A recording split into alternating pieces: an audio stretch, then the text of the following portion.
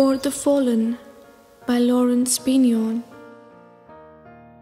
With proud thanksgiving, a mother for her children, England mourns for her dead across the sea. Flesh of her flesh they were, spirit of her spirit, fallen in the cause of the free. Solemn the drums thrill, death august and royal sings sorrow up into immortal spheres. There is music in the midst of desolation and a glory that shines upon our tears. They went with songs to the battle.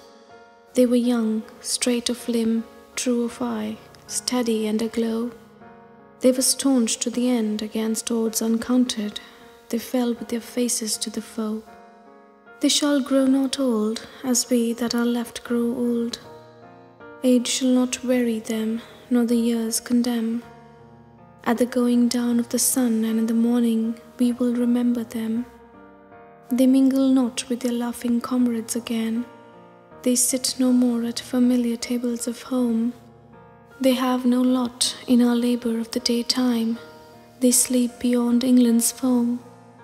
But where our desires are and our hopes profound, felt as a wellspring that is hidden from sight, to the innermost heart of their own land they are known as the stars are known to the night, as the stars that shall be bright when we dust, moving in marches upon the heavenly plain, as the stars that are starry in the time of our darkness, to the end, to the end they remain.